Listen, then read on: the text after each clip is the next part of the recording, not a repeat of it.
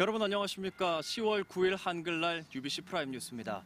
오늘 프라임 뉴스는 574돌 한글날과 외솔 서거 50주년을 기념해 열리는 외솔 한글 한마당 개막식 현장에서 진행합니다. 네, 먼저 화재 소식 자세히 전해드린 뒤 한글 한마당 관련 소식 전해드리겠습니다.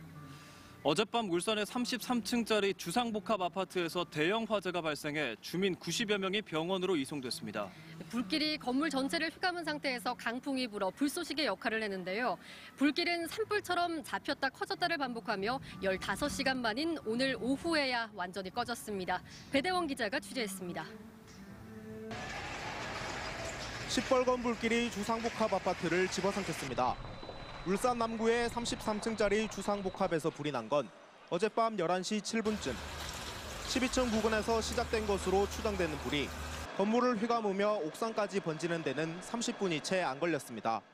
인제 아저씨는 여기서 불이 막 금방 막 타고 올라가더라고요. 막 타고. 그런데 바람이 왜 이렇게 거시기 불어나노 이렇게 막 바로 올라가더라고 바로. 이 불로 갓 태어난 신생아를 포함해 아파트 주민 93명이 연기를 마시거나 철가상을 입어 병원으로 이송됐습니다. 이 가운데 3명은 연기를 과다 흡입해 중상자로 분류됐지만 상태는 양호한 것으로 확인됐습니다. 오늘 새벽까지 울산엔 일본에 상륙하는 태풍의 간접 영향으로 초속 10m가 넘는 강한 동풍이 불면서 진화에 어려움을 겪었습니다. 불길이 번지는 속도를 늦추는 발코니가 없는 주상복합의 특성도 불길이 빠르게 번지도록 도왔습니다. 특히 건물 외벽에 알루미늄 패널을 붙이면서 쓴 가연성 접착제가 불쏘시개 역할을 한 것으로 보입니다.